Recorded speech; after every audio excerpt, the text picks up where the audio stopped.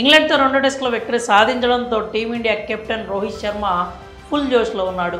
Bazball bend తీయడంతో సంతోషంలో మునిగిపోయాడు.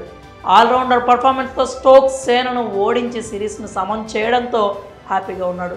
సిరీస్లోని మొదటి టెస్ట్లో ఓడటంతో హిట్ మ్యాన్ భారీగా విమర్శలను ఎదుర్కొన్నాడు. అటు బ్యాటర్గా ఫెయిల్ అవ్వడం ఇటు సారథిగాను సరైన సమయంలో సరైన నిర్ణయాలు తీసుకోకపోవడంతో రోహిత్కు ఏమైందనే కామెంట్లు వినిపించాయి. అతని పని అయిపోయిందని కొందరు సీనియర్లు వ్యాఖ్యానించారు. ఈ తరుణంలో జట్టు అద్భుతంగా పుంజుకుని విజయం సాధించడంతో రోహిత్కు ఊరట దక్కింది. అయితే హిట్ మ్యాన్ విషయంలో బీసీసీఐ మాస్టర్ ప్లాన్ వేస్తున్నట్లు తెలుస్తోంది. ఈ ఏడాది జూన్లో టీ ట్వంటీ వరల్డ్ కప్ జరగనున్న నేపథ్యంలో భారత క్రికెట్ నియంత్రణ మండలి పక్క ప్లాన్తో వ్యవహరిస్తోందని తెలిసింది.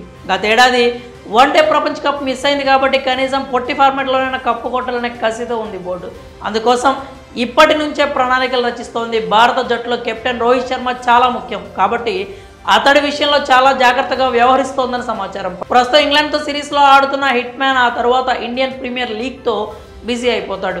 క్యాష్ రిచ్ లీగ్ ముగిసిన తర్వాత టీ ట్వంటీ వరల్డ్ కప్ ప్రిపరేషన్స్లో బిజీ అయిపోతాడు. అయితే వరుసగా క్రికెట్ ఆడితే అతడు గాయాలయ్యే ప్రమాదం ఉందని బీసీసీఐ భయపడుతోంది. ఐపీఎల్కు టీ ట్వంటీ వరల్డ్ కప్కు మధ్య కొంత గ్యాప్ ఉంది. క్యాష్ రిచ్ లీగ్ షెడ్యూల్ ఇంకా ప్రకటించలేదు. కానీ ఈ మెగా లీగ్ ముగిసిన తర్వాత ప్రపంచ కప్కు సన్నద్ధం అయ్యేందుకు కనీసం పదిహేను నుంచి ముప్పై రోజుల వరకు టైం దొరికే ఛాన్స్ ఉందని తెలుస్తోంది.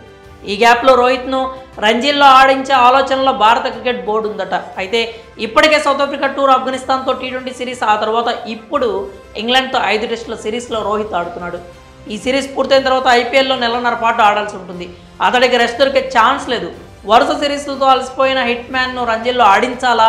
లేదా విశ్రాంతి ఇవ్వాలనే విషయంపై చీఫ్ సెలెక్టర్ అజిత్ అగారకర్తో పాటు ఇతర బోర్డు మెంబర్స్ తర్జన భర్జనలు పడుతున్నట్లు బీసీసీ అధికారి ఒకరు తెలిపారు. అయితే అతను ఓకే అంటే రంజీల్లో ఆడించాలని అనుకుంటున్నారట దీనివల్ల రోహిత్ మరింత ఫామ్ను పుంజుకునే అవకాశం ఉందని ఇది టీ ట్వంటీ వరల్డ్ కప్లో అక్కరకు వస్తుందని బోర్డు భావిస్తోందట. ఒకవేళ ఈ ప్లాన్ వర్కౌట్ అయితే మాత్రం హిట్ మ్యాన్ దుమ్ము రేపడం ఖాయమని పొట్టి కప్పు మనదేనని సోషల్ మీడియాలో నెటిజన్స్ కామెంట్ చేస్తున్నారు. మరి టీ ట్వంటీ వరల్డ్ కప్కు ముందు రోహిత్ విషయంలో బీసీసీఐ చేస్తున్న ప్లానింగ్పై మీరేమనుకుంటున్నారో మీ అభిప్రాయాలని కామెంట్స్ రూపంలో తెలియజేయండి.